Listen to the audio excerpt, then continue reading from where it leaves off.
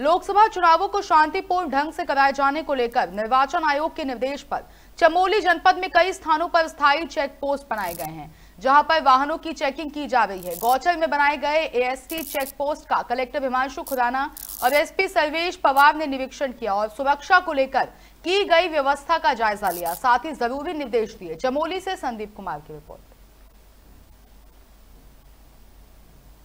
लोकसभा सामान्य निर्वाचन के अंतर्गत उसमें जो निर्वाचन आयोग के निर्देश हैं, उसमें जनपद में जगह जगह पर हमने स्थायी निगरानी दल, जो स्टैटिक सर्वेलेंस टीम है, उनकी स्थापना करी तो ऐसे ही एक जो स्टैटिक बैरियर है गौचर, जहाँ पर हमने जो हमारा इंटर बॉर्डर भी है वहाँ पर सीसीटीवी भी स्थापित किया तो इसी क्रम में जो भी यहाँ व्यवस्थाएँ की गई हैं चेकिंग की एस एस द्वारा, उसका निरीक्षण किया है। जो सी सी टी वी यहाँ पर स्थापित है, और इस तरह से यहाँ पर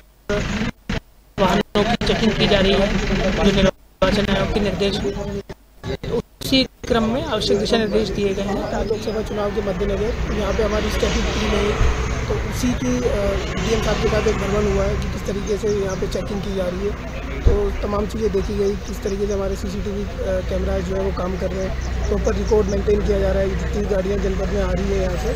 तो इसी का एक निरीक्षण जो है, एक संयुक्त निरीक्षण डी साहब के साथ जो है यहाँ किया गया।